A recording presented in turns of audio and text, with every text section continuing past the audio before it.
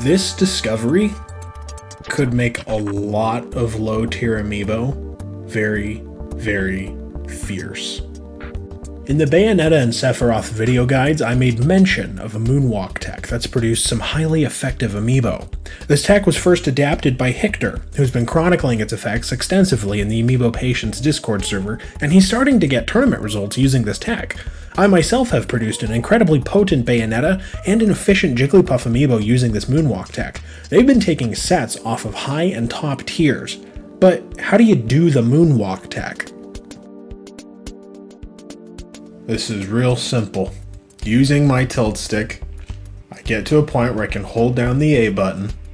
I'm walking slowly.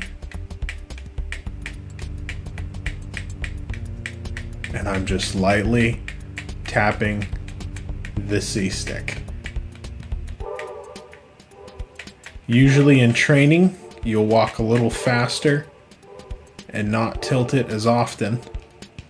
And if you have snapback on your C stick, you'll end up spinning a lot faster on accident. If you're tilting too far, you'll end up doing something like this. It'll break you into a run. You don't want that. That means you're tilting too far.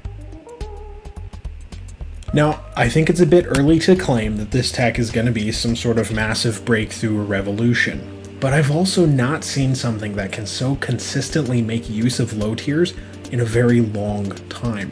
Truthfully, I don't entirely understand what's going on under the hood. I just know that this thing works.